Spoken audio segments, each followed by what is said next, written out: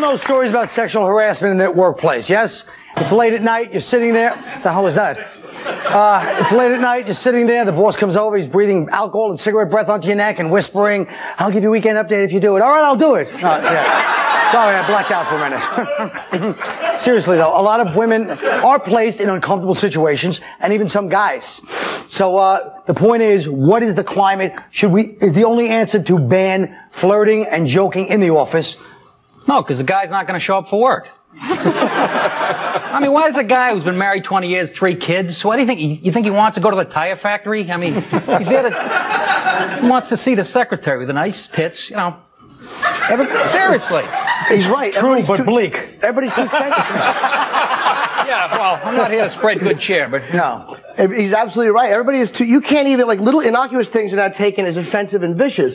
Where like as a male, if you see a female coworker and she has a nice uh, outfit, and you go, uh, "Hey, Toots, nice camel toe," all of a sudden you're a bad guy. Well, but see, for an example, that was inappropriate here. But like, where is some things like if you go to somebody at Mardi Gras, show me your tits, everyone thinks that's okay. But if you say it's like Katie Couric on the Today Show, is inappropriate. so does it matter where you work for these things? well, that's who my wants other to see her tits in the first place? Look, Yeah. now look, Chris Rock is famous for the the routine that. uh Oh, you wish he was here now doing it, in Mac. Uh, come on out, Chris. Chris, Chris Rock did the routine about sexual harassment. He said if Clarence Thomas looked like Denzel Washington, they wouldn't even call it sexual harassment because it's only ugly guys. If he was like, if he looked like Denzel, he'd go, hey, I put a pubic hair in your coke. And she'd be like, oh, Clarence, you're so nasty. And start laughing. now, Janeane, do you feel that there's a certain amount of truth to looks affecting like uh, how people feel they're treated sexually? Probably, but it goes both ways. There's both genders would be guilty of, of responding to that. But uh, you know where I, there's another level if I if I may introduce this to the dialogue or debate here of uh, this debate uh, uh, of sexual harassment. I feel I'm being sexually harassed by HBO. I I cannot take any more of their supposed documentaries, which are these exploit. Like last night was Cathouse, G String D- Divas, Real Sex documentaries that they are harassing me. You know what I mean? Like I feel like that they keep foisting um, the, the sex trade upon the audience and making it look like tons Right. of fun. You know what I mean? Like they like, isn't this exciting? Under the These- guise of being, they- uh, you know, under they're pretending it's a documentary. So I feel like I'm being sexually harassed by HBO. Yeah, well, even those hooker, the hookers at the point thing. I mean, those things. That's you know, the only one that borders on showing you how bleak a lifestyle it can That's be. what I'm saying. It's the only one I like too. The other ones. Are, terrible. I agree with Janeane. You guys are pigs. Now listen, um, Janeane. Now, not you are the woman, but have you ever been sexually harassed, uh, No. other than by the HBO people? no, Guess we I won't be seeing your special this year. Now listen. No. I like on the news when they always introduce it as sexual harassment. Yeah, yeah. When they call it that, because I guess harassment, I guess is too much like her ass, so it's like, oh, so the news guy, harassment.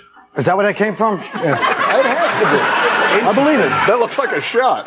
No, it wasn't a shot. I was just asking. Oh, I don't know. It looked like a shot. Well- I'm just telling you. Maybe it was a shot and I didn't know it. Okay.